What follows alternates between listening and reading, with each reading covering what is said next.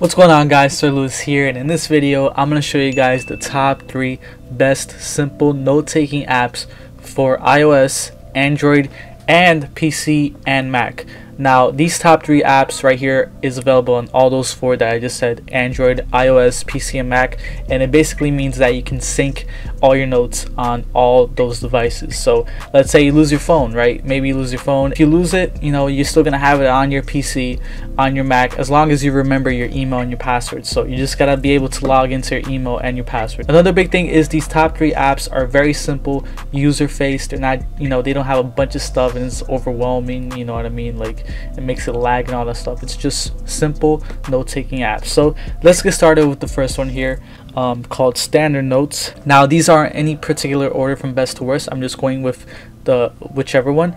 So starting with the first app it's called standard notes. And to add a note you just basically click right here on the plus sign. It's really simple. What i love about this is it has a add title feature. Um, so you can put whatever memes or anything you guys want.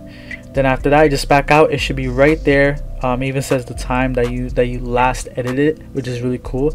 Hi youtube. So to edit it go back all right here at the top you can pin it you can archive it you can lock it you can protect it with your um your um you can protect it with your thumb all right the thumb password i forgot what it's called. You can share it you can move to trash you can even add editors. So you know if other people have this app you can have your friends you know be able to edit the note as well. And you can add tags. Now tags is a great thing because if you want to you know organize your notes based on tags you can do that and then you just search with the tag and you have all those notes based on those tags. Now over here this is where your tags will be. If you have any tags you're ar archived your trash so if you delete a note it stays there just in case you know you want it back or you can delete it for good. And over here you got the three themes. You have blue red and you can get more themes if you guys want. Another great thing about this app here is so like i said right here you can sign in register. Of course if you're going to use this i recommend registering. So then if you lose your phone or something happens you still have your notes saved. And what's awesome about this app it's it's really protected actually protected with a passcode lock fingerprint that's what it's called. And it's just very protective and it's very simple. If you guys really want a simple note-taking app this is the one now let's go on to the next one. Next one is called simple note and it's actually the one that I've been using the most at the moment. I really like it. I'm gonna show you guys why it's it's really good. Just like the last one it's really simple. As you guys can see to add a note you go over here at the top. Then um, it doesn't have the add title feature but your title is basically to be whatever you put in the first line. So uh, YouTube. And then you just return and you can just type in whatever. Now what I love about this is here at the top you press this and that makes it like a check mark you know maybe you have like a list that you want to do. Um, what other another thing is you click here and it basically you know just hides the keyboard. I know a lot of you guys you know that's like a little thing but it's you know really good because I hate having the keyboard there sometimes when I want to look at my whole notes Another cool thing is here at the bottom you can actually add your tags right over here. So if you want to group your notes, you know this could be a note based on YouTube, and then I could you know search up that tag later, and it'll only be YouTube. So right here, click on that. Here are my tags, YouTube. It's only going to show the notes that I have that are based on YouTube. We go back here to all notes. It has the trash.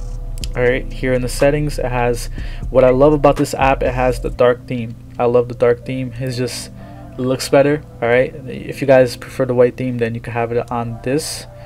But um, the other app that I showed you doesn't have it so this is a great plus for this app at least. Um, you can sort your notes alphabetically all right right here from newest to oldest. Um, in any way you want you can store your tags as well. You could add a passcode for this just like the last one a fingerprint touch ID and as you guys can see right there you could have your account your privacy settings and you can sign out and you can have multiple accounts. So that way um, this will sync with your PC and you'll never be able to lose it as long as you remember your email and your password. So another feature this app has is you can actually like the other one collaborate. So you can share a note with your friends and let them edit it as well. Or you can send it you can publish it you can pin to the top mark down trash and it's very simple and it's just very simple guys and it's still very new so they're gonna add a lot more features. Um, so yeah that is simple note.